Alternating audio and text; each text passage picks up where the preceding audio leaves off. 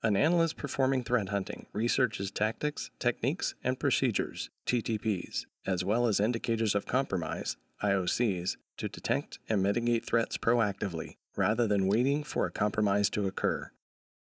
Threat hunting can be a very time intensive manual process, especially when the analyst has to carry out several steps on multiple disparate systems. Swimlane's security orchestration, automation, and response SOAR platform integrates your entire security toolset and automatically executes research queries and other threat hunting activities at machine speed. This enables an analyst to rapidly analyze all relevant threat data and immediately execute the correct response, drastically reducing resolution time. Swimlane's workflows allow you to automate as many evaluation decisions as you want, leaving analysts free to focus on the highest priority threats.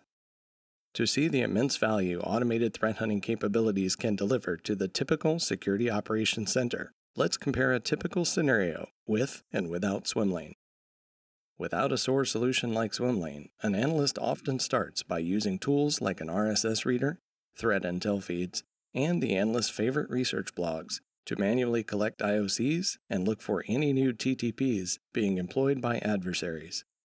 At some point during this process, the analyst might notice a certain MD5 hash has emerged as a second stage indicator of a Trojan infection. To verify the IOC is a valid threat to hunt, the analyst now opens additional browser tabs and performs a series of additional research queries. Based on the severity rating found in some of the queries, the analyst starts hunting for the MD5 hash. The analyst must now log into their SIEM and other tools to begin the hunting process. After logging into each tool, the analyst runs queries for the suspect MD5 hash. In this example, the analyst finds a total of seven matches.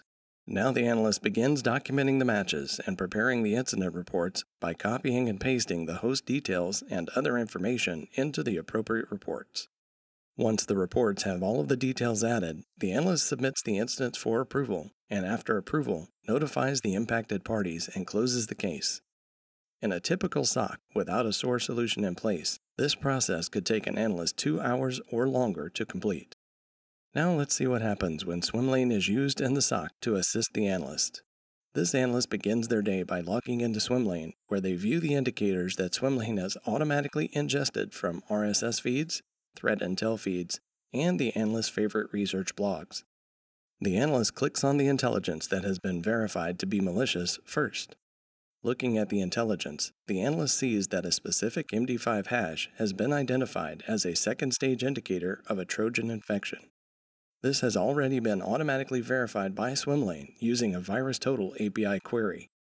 The analyst probably does not need to perform any additional research on this indicator given how high the VirusTotal positives severity rating is. However, if the analyst wants to, they can click on these research links Google, VirusTotal, Bing, or ThreatMiner to gather additional intelligence about this indicator using one click pre filled searches customized for these resources. Once the analyst decides to perform a threat hunt and determine if this indicator has been spotted in their environment, they simply click the Threat Hunting tab, verify that no threat hunts exist yet, and click Go Hunting. This generates a new threat hunt record in Swimlane. The new threat hunt record will contain a query that has been designed for the appropriate platform, in this case for Carbon Black. The custom query looks for this specific hash in the previous 14 days of records to identify whether or not this indicator has been seen in the environment in the last two weeks. When the query results come back, Swimlane informs the analyst that there are seven hits for the query. If the analyst wishes, they can view the raw results by clicking for more details, or they can click Generate Report to create the appropriate report.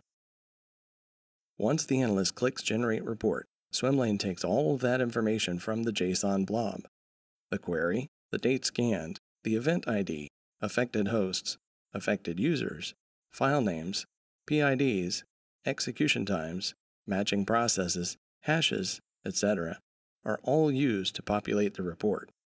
The case severity is determined by the number of individual hosts affected.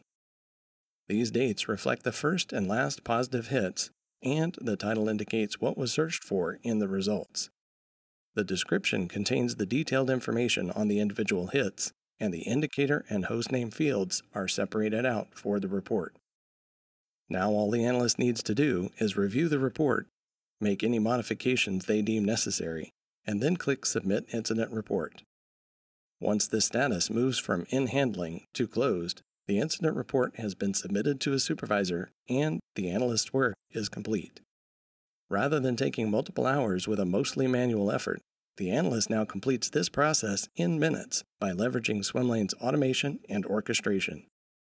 For more information about Swimlane and how it can orchestrate, automate, and improve your threat hunting, please visit us at swimlane.com.